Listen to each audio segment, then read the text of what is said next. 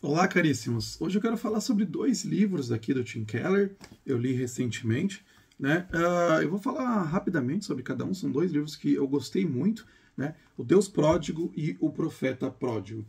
O Deus Pródigo, então, eu acho que é um dos livros também, um dos mais famosos do Tim Keller, né? Deu bastante, ele é de 2000, 2008, então ele era ainda novo ali em, uh, em Nova York, né? Quando ele tinha ido para Nova York para fundar a igreja Redeemer né, em Nova York.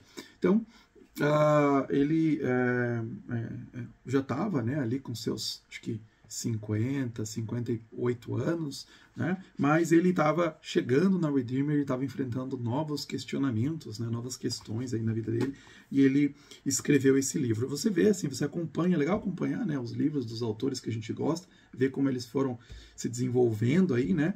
Esse outro livro aqui é de 2018, né? Então aí 10 anos de diferença entre o outro, você já vê algumas coisas é, bastante diferentes. Então, o Deus pródigo, é, na verdade, uh, isso, Deus pródigo, ele está falando da parábola né, dos dois irmãos lá, né? E, normal, e ele fala isso, né? A gente tem que chamar é, a parábola dos dois irmãos, porque normalmente a gente chama do, a parábola do filho pródigo. Só que, na verdade, como ele trata no livro, são os, do, os dois filhos estavam perdidos. Os dois filhos tinham problemas ali, né? Porque ao mesmo tempo que o filho, apesar de, né, de o filho mais novo sair gastar todas as coisas, né, toda, toda a riqueza do pai, toda a herança, o mais velho, ele estava ali, né, mas ele era legalista. Né? Então essa é a diferença, né? Você às vezes você olha, né? Muitas vezes a gente olha, né? Dentro, ah, eu sou, né? Eu cumpro todas as minhas funções, eu, eu, sou salvo pelas obras, né? E você vê às vezes outras pessoas, né? Lá fora, às vezes a pessoa se converte e vem você, não, né? Ele não merece tanto porque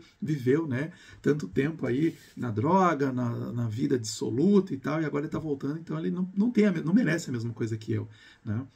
Esse é um olhar legalista, ele vai falar. Muitos de nós temos esse olhar legalista. A gente se encaixa nisso, né? Ou o, o liberal, né? o libertino, ou o né? ali que, que seguia, né? fundamentalista. Ele fala assim: esses dois irmãos, né? Tá, na verdade, são filhos pródigos, os, de, os dois. Né? É, os dois têm corações iguais, né? enquanto o, os dois eram o que os X, né? a autoridade do pai né, procuravam até formas de evitá-la, né, tinham condições, os dois tinham condições de dizer ao pai o que que, que, que é, o que que, ele, o que que eles queriam, né, e tal, né, mas os dois se rebelaram, né, um se decidiu, um decidiu se rebelar é, é, sendo muito mal e o outro tentando ser muito bom né? mas ambos estavam alienados do coração do Pai. Isso é uma situação humana, né? e o Tim Keller coloca isso nós em relação a Deus, por isso que é o Deus pródigo. Né? O que é o Deus pródigo? É, o pródigo normalmente a gente associa, então é isso, né? o pródigo que foi lá e gastou bastante, mas a, a, a prodigalidade também está se referindo a você é, gastar bem, né? Você não poupar gastos para recompensar o seu filho. Você quer, né? Quando você tem uma festa de aniversário do seu filho, você quer dar coisas boas para os seus filhos, né? Então, imagina Deus, então, né? Deus quer muito mais trazer esses é, é, coisas boas para os seus filhos. Então, Deus é o Deus pródigo que quer dar muita graça, se alegra quando né, um filho retorna aí, que estava perdido e, e, e, tava, uh, e volta, né? Estava perdido e volta. Então, os dois estavam, Tim Keller fala, os dois estavam usando o pai para alcançar seus objetivos egoístas. Muitos de nós fazemos assim, né? Nós, às vezes, ah, eu estou dentro da religião e tal, tô aqui, vou sempre na igreja. Não, eu mereço a graça, eu mereço a bênção, né? E não é assim, né? Então, tem que, a gente tem que ver o nosso coração.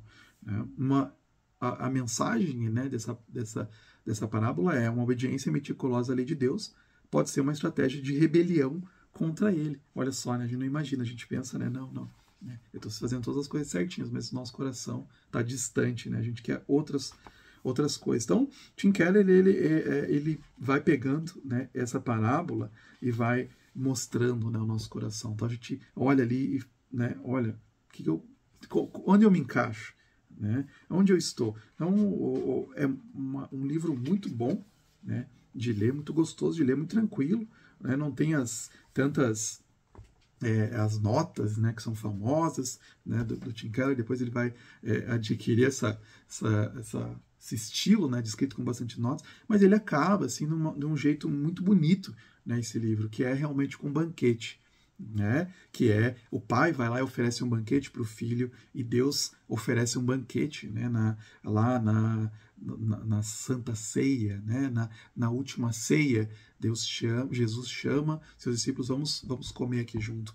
Né? E ele, chama, ele faz um paralelo com aquela a festa de Babette, né? que também é muito, inclusive, muito muito bonito né, história, uma história bem curta, tem um filme também, né, que é a, a Babette lá, então, ela faz, né, chama as pessoas para vir ali uma refeição que ela fica muito tempo preparando aquela refeição, né, então é muito bonito isso, né, você ser pródigo em chamar pessoas, em trazer as pessoas para a igreja. Deus é assim, né? em trazer pessoas para o convívio, para a sua, né, é, é para sua comunidade, oferecer né, ali essa, essa alimentação, né, esse, essa, esse momento de comunhão, né, de conviver com outras pessoas. E Deus faz isso, né? Eles nos chama para esse banquete. A gente tem que seguir esses exemplos também, né? De chamar outras pessoas, de viver com outras pessoas, preparar, né? Essa, esses momentos é, de maneira intencional, nesses momentos comunitários. Né? Então, é legal isso, né? Como que ali na, na, na história da Babette, né? A comunidade não estava bem. E essa, e essa refeição, nessa festa, ou esse. Uh, a festa de Babette, a tradução, né? Mas o feast está mais relacionado assim, né? Com um banquete, né? Festival, fazer, né? se, se esbanjar de comida aqui, né? preparar, me esmerilhar, né, mesmo assim, né, me esforçar para fazer uma grande comida para receber essas pessoas, né? E Deus faz isso. E ao invés dos filhos mais velhos, né, muitas vezes nós nos alegrarmos com as pessoas que estão voltando, a igreja estão voltando, né, a trilhar seu caminho, o que a gente faz? A gente acha, né, ah, não, né, não merece tanto, porque ele é, é o novo convertido, né, eu mereço muito mais. Né, e também merece, a gente tem que se alegrar com isso.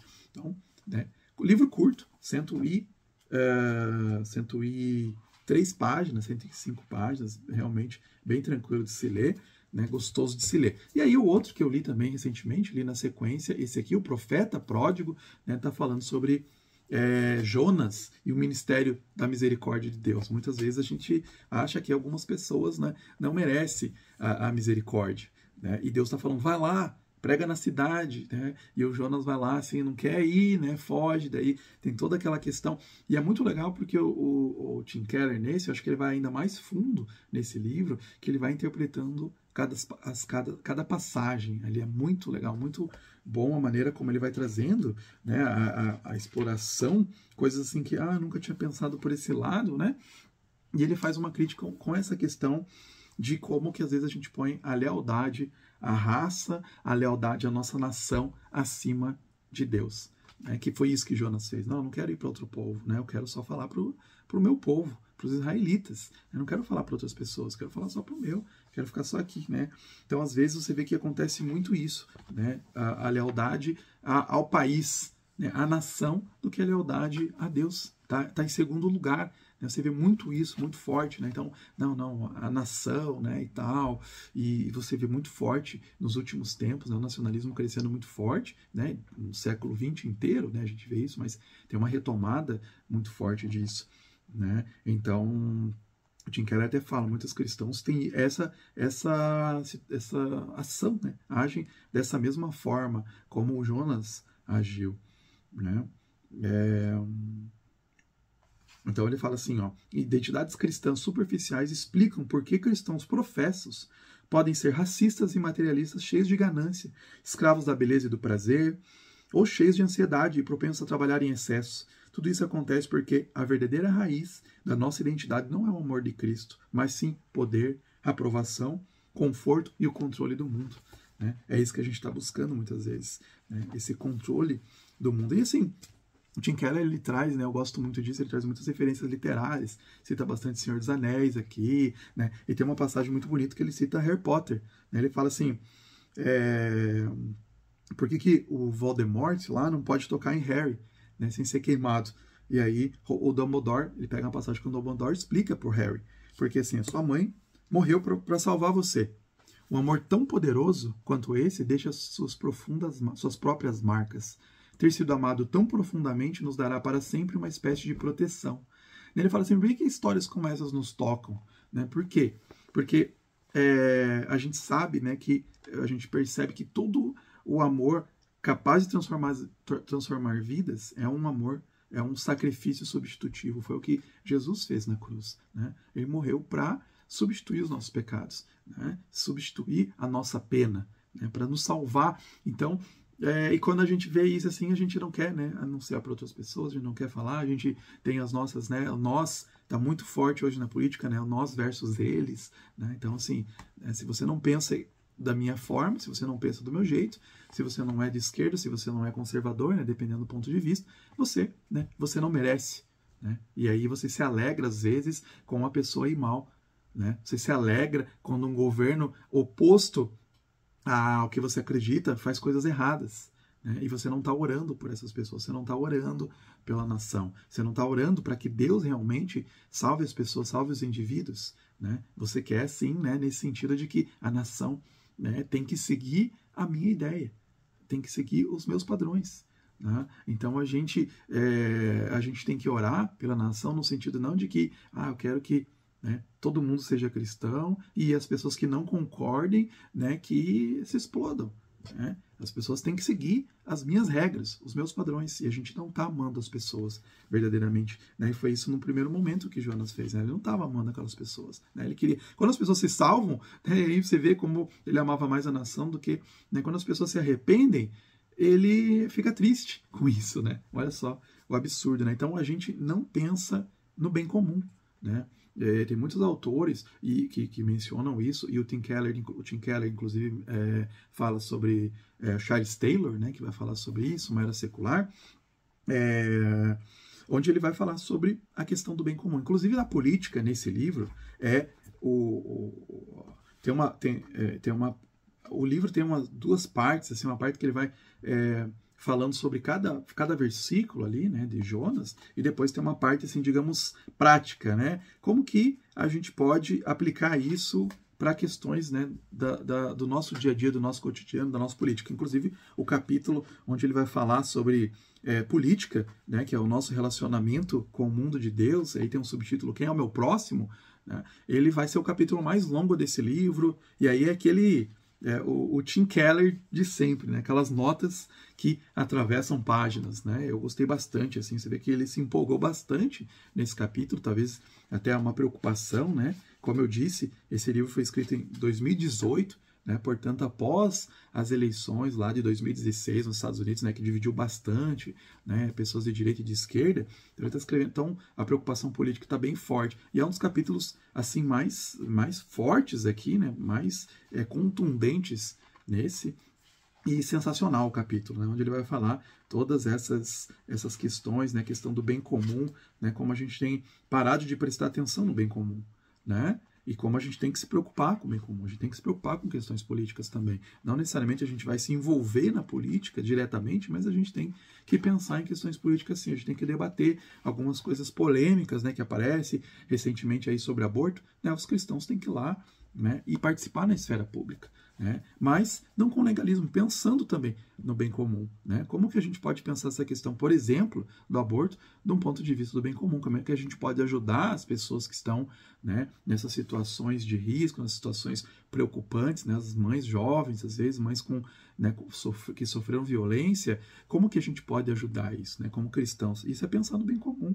Né? Então ele termina dizendo assim, a gente vive hoje em bolhas, né, onde as pessoas vão ouvir coisas, vão ouvir notícias, vão ouvir né, a, a, as mensagens que concordam com ela. E o Tim Keller chama, né, a gente tem que ir lá né, e olhar para o outro lado também, olhar para as outras pessoas, como que elas estão pensando, né, pensar em compaixão. Isso é o ministério de misericórdia de Deus. Deus teve compaixão daquelas pessoas ali, né, de Nínive. Você também tem que ter com, é, compaixão com as pessoas da sua cidade que você considera perdidas.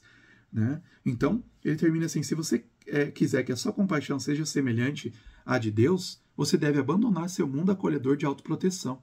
A compaixão de Deus significou que ele não pôde ficar debruçado no globo terrestre e simplesmente se alimentar por nós. Ele desceu aqui, tomou para si a natureza humana, literalmente entrou na nossa pele, assumiu nossa condição, nossos problemas e caminhou conosco. Se você tem algum amigo ou amiga é, que esteja passando por um momento muito difícil, não seja alguém ocupado demais para passar tempo com essa pessoa. Caminhe com ela por meio do sofrimento. Claro que você vai chorar, vai doer, mas foi isso o que Deus fez por você. Tremendo, né? Então, fica aqui minha sugestão desses dois livros do Tim Keller, né? Eu já falo assim, selo Keller de qualidade, não tem erro, né? Mas esses dois livros realmente são muito bons nesses temas aí, né? Que, que eu mencionei, né? Sobre o próximo, sobre o outro, sobre legalismos, sobre é, a nação, né? Que a gente tem que pensar bastante nessas eras que a gente está bastante politizadas e ideologizadas, tá? Então fica aí minha recomendação.